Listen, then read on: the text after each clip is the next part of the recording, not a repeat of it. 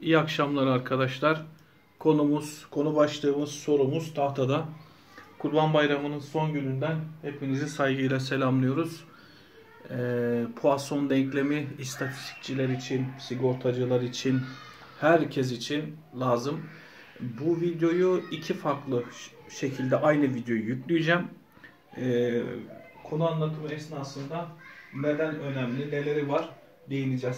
Şimdi öncelikle e, bu Poisson denklemini, ifadesini bir yazalım şöyle. Ben şöyle ifade ediyorum.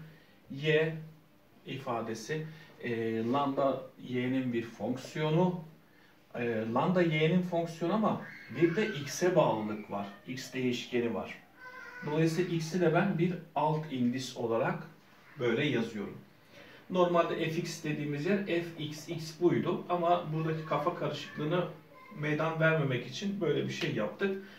Poisson dağılımı e, yani bütün e, fen bilimlerinde, pozitif bilimlerde önümüze çıkan bir şey. Bunda kendimizi iyi hissedeceğiz ve duyduğuma göre üniversite hocalarının da mutlaka e, soruları içerisinde e, sık sık sorduğu mevzulardan bir tanesi bu. Şimdi öncelikle şunu yapalım. Bu Poisson dağılımının garip bir eşitliği çıkıyor meydana. Şöyle, e, heh, önce lambdayı izah edelim. Lambda ne? Lambda. E,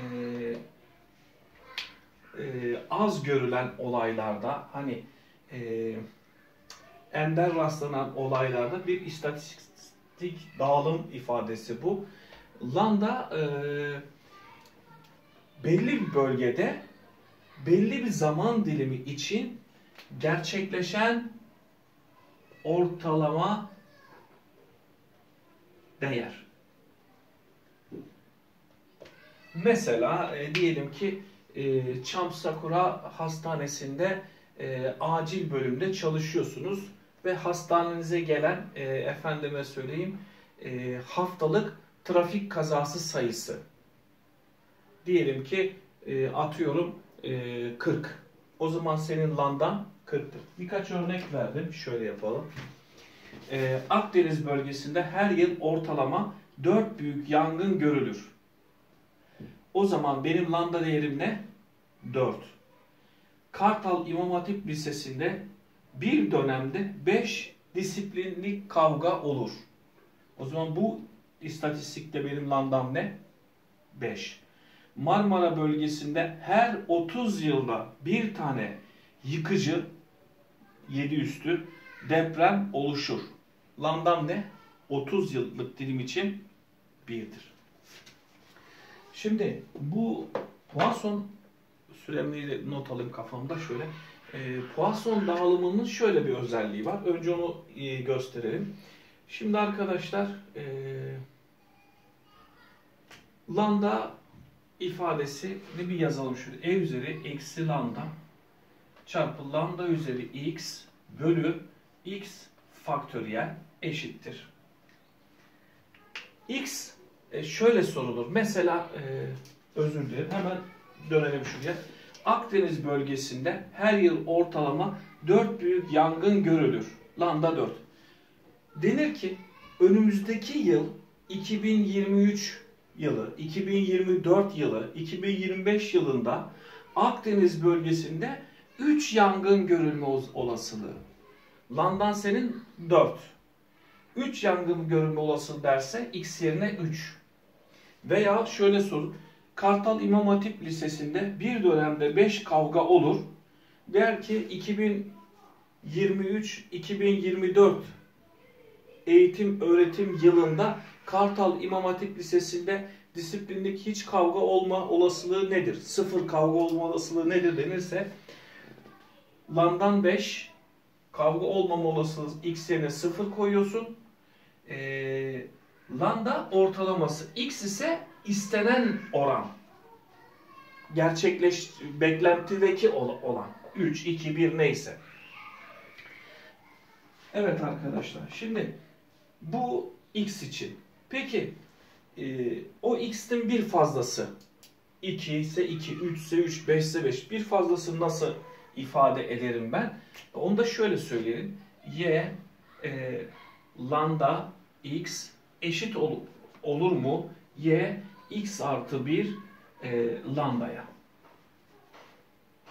Aynı o. Şimdi bakın buraya x yerine yazarsam e üzeri eksi lambda çarpı artık x yerine x artı 1 diyor. Lambda üzeri x artı 1 bölü x artı 1 faktöriyel. Biraz matematiği iyi olan arkadaşlar bazı şeyleri gördüler. Şimdi şu aynı eylem için bu lambdalar gitti. E, e üzeri lambdalar gitti. Lambda üzeri x. Ben bunu şöyle yazabileceğim biliyorum. Lambda üzeri x çarpı lambda üzeri 1. Lambda üzeri x artı. x artı 1 faktörü x artı 1 çarpı x faktöriyel şeklinde yazarım. Dolayısıyla bakın x faktöriyeller de gitti. Lambda üzeri x de gitti. Benim elimde ne kaldı? Dikkat edin. Lambda üzeri bir, bir yani işler dışlar çarpı burada birden başka bir şey yok. Lambda eşittir x artı 1'e. Bu çok önemli bir şey arkadaş istatistikte. Şimdi o zaman sorularımıza bir dönelim. Ne dediğimizi arkadaşlara izah etmeye bakın. Diyelim ki Kartal İmam Hatip Lisesi'nde bir dönemde 5 kavga olma olasılığı neyse diyelim ki atıyorum işlem çıktığında 5 e, kavga olma olasılığı neyse 4 kavga olma olasılığı da ona eşittir.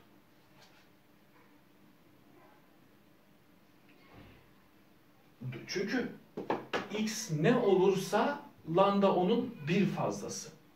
Ee, veyahut da şöyle diyelim e, bunu bir gösterelim. Bunu böyle. Veyahut da başka örnekten yapalım. Mesela Akdeniz bölgesinde her yıl ortalama 4 büyük yangın görülür.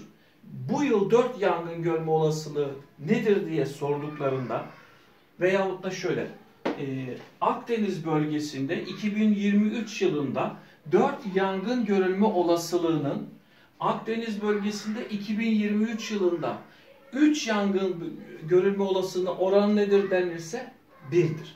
Dolayısıyla e, ortalama değer ile ortalama değer ile onun bir küçük değer arasında böyle bir eşitlik vardır. Bu Amerika'nın yeniden keşfi değil. Bir gösterelim. Şöyle bir gösterelim. Mesela e, şey yapalım. Ne yapalım? E, tamam. Akdeniz bölgesinde 4 yangın görme olasılığına bakalım. Hemen ne yapıyoruz? E, y. Lambdası zaten lambdası 4. E, 4 yangın görecek. X'i de 4 o zaman burası. E üzeri eksi 4 çarpı 4 üzeri 4 bölü 4 faktöriyel. Peki 3 e, durumuna bakalım. Lambda'nın yine yangın ortalaması 4. Lambdalar değişmiyor. X'leri değiş. 3 eşittir. E üzeri eksi 4. Lambda yerine zaten 4 yazıyoruz. E, lambdamız yine 4. X'imiz bu kez ne? 3 bölü 3 faktöriyel. E, dikkat edersek zaten şuradan e, 4 faktöriyeli 4 çarpı 3 faktöriyel şeklinde yazarsam 4 üzeri 4'ü de 4'ün kübü çarpı 4 şeklinde yazarsam şu dörtler birbirini sadeleşir bu ikisi birbirine eşit olur. Poisson denkleminin e, güzelliklerinden bir tanesi de bu. Ben süre kontrolü yapayım. Çünkü sürem kısıtlı. 5 dakikam kalmış. Şimdi 5 dakikaya bakalım ne sığdırabileceğiz. Şunu silmemize gerek. Şimdi Poisson denkleminin arkadaşlar e, fizik ve matematikte de çok çok önemli değeri var. E, tekrar lambda x. Şimdi e, arkadaşlar ben burada e, bakın hep siz x'e göre türev almaya alışmışsınız. Lambda'ya göre türev alıyorum. Bakın lambda'ya göre türev aldığım zaman lambda'ya göre türev aldığımda x'lerimiz sabit gibi davranıyor. Lambda burada. Şimdi burada bir tane x faktöriyemiz var. x faktöriyel x'e göre türev almıyor. Lambda'ya göre e, türev alıyor. Aslında yazarken burayı e, dy bölü d lambda olarak gösterip öyle y üstünde ona eşit olarak yazmak daha doğru. Şimdi çarpımın türü. Önce bunun türevini alıyorum. x'in karesi, x'in kübü, x'in dördü. O zaman nasıl yapıyordum? x öne geliyordu. x öne geldi. Lambda üzeri 1 azaldı. Burası x eksi 1 oldu. Çarpı bu. E üzeri eksi lambda artı ama üstün eksi olması nedeniyle bir eksilik gelecek. E üzeri eksi lambdanın türevi eksi 1 e üzeri eksi lambda orada. Lambda üzeri x bu sefer sabit gibi davranıyor. Bölü e, x faktöriyel. Evet. x faktöriyel. Şimdi dikkat edersek y üssü x'e lambda eşittir ne buluyoruz? Şimdi bakıyorum ben buraya. Hocam bunu bir açarsan x çarpı x eksi 1 faktöriyel diye düşünürsem ilk terimden x'ler gider. Kalanlar e, e üzeri eksi lambda çarpı lambda üzeri x eksi 1 bölü x eksi 1 faktöriyel ilk terimden kaldı. İkinci terime bakıyorum. İkinci terimden ikinci terim hiçbir şey yapmıyorum. Bunu ikinci terim için x çarpı x eksi 1 faktöriyel x faktöriyel olarak yapıyorum. E üzeri eksi lambda çarpı lambda üzeri x bölü x faktöriyel. Dikkat ederseniz şunu yazarsanız şunu şekil yazalım y üssü x eşit özür dilerim y üssü x diye şöyle y dip indeks x lambda eşittir. Bu nedir? Bakın benzettiğinizde hocam o zaman burası y x eksi 1 lambda değeri değil mi? Artık x yerine x eksi 1 gelmiş. Eksi eksi e, y x'in kendisi tekrar etmiş. y x lambda çıkmış. Şimdi bunu düzenlersek, bunu bir minik düzenleme için kendime yer şuraya sıkıştırabilirim. Şimdi sadece yapacağım eylem, e, bunu karşıya attığım zaman ne olur arkadaşlar? Yazalım.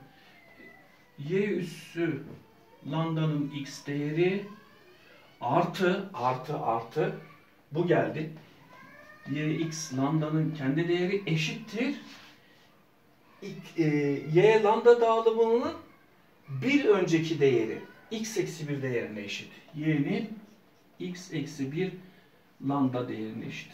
Şimdi bu sürede kontrol çok güzel, önemli bir ifade. Nedir bu? Şimdi arkadaşlar, bakın şu ifadenin Türkçesine bakalım. Bir fonksiyona bir fonksiyona bir fonksiyonun e, x noktasındaki bir fonksiyona o x noktasındaki o fonksiyonun türevi eklendiğinde x eksi 1 yani bir önceki maziden bir önceki değerine eşit. Bu aslında e, atmanın ilerlemesiyle ilgili bizim çünkü bu elektromanyetik teorileri kullanıyoruz e, ilerleyen atmayı nasıl ifade ediyoruz arkadaşlar? Eğer bu dalga bu tarafa doğru gidiyorsa ön taraf yükseliyordur. Değil mi? İnsan yürüyüşü arka taraf aşağı doğru iniyordur. Dolayısıyla e, pozisyon dağılımının gerek elektromanyetik teoride e, gerek kuantum alanlar teorisinde de bu ifadeyi kullanıyoruz. E, çünkü herhangi bir x değerinde herhangi bir e, x değerinde değerine artı bunun o noktadaki türevini türevini de eklerseniz bir önceki değerini bulursunuz. Bu da bize